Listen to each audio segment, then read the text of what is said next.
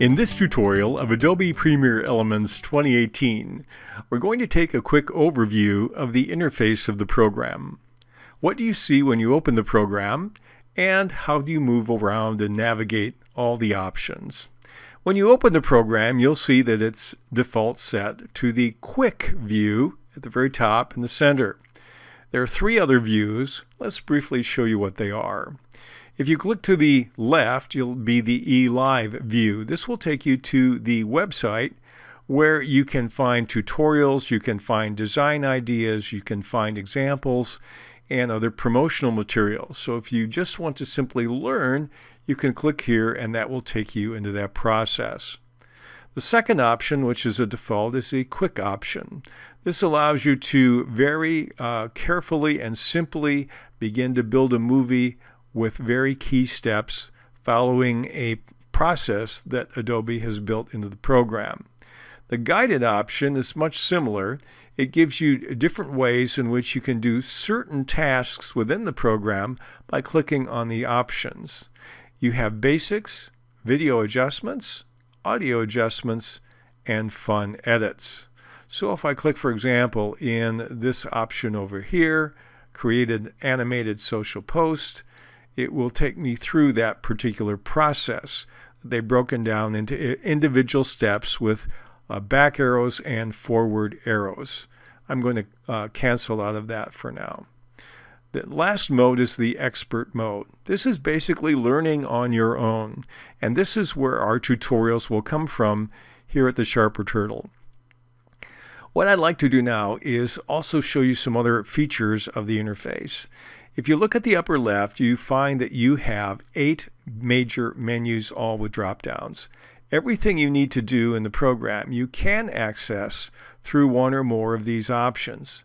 You notice many of them are grayed out depending on uh, what happens to be active on the screen at the time. You also have over on the right side a list of uh, key components in the toolbar. These are key actions that you'll do over and over again in building your project. Every movie is compiled into what's called a project.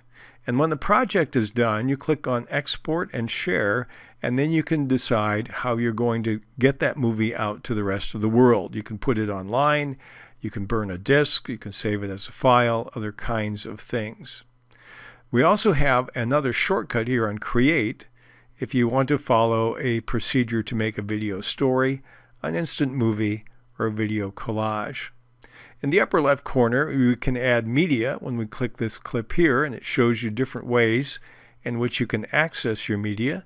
And then we have a drop-down called Project Assets, which will simply show you what elements you've already put into your particular project, whether they're uh, video files, audio files, whether they're image clips, or anything else that can go into your movie. Then at the bottom we have our timelines and we have uh, the window split pretty evenly. When you have items clicked on the bottom, uh, they will appear in a preview mode in the top and they'll replace what you see here right now. And you can add them on the appropriate track, whether it's video, audio, voice, or music. You can also change the size of the window by dragging with the two-headed arrow up or down. And sometimes you'll want a little more room at the bottom. Sometimes you'll want more room for the preview at the top. And so these are adjustable. You can also take the items from the right, and when you click on these, this window bounces to the left. And uh, in this case, you need a clip to make this active. But when you're done, you can click on the double-headed arrow. It'll close to the right. So there's a very creative way of using the real estate available to you in multiple ways in Premiere Elements 2018. So that's a little bit of a look at the interface and the different key areas. We'll get into many more details in upcoming lessons as we begin to help you build your movie and learn some of the tools that you can use in going from something very simple to something very awesome.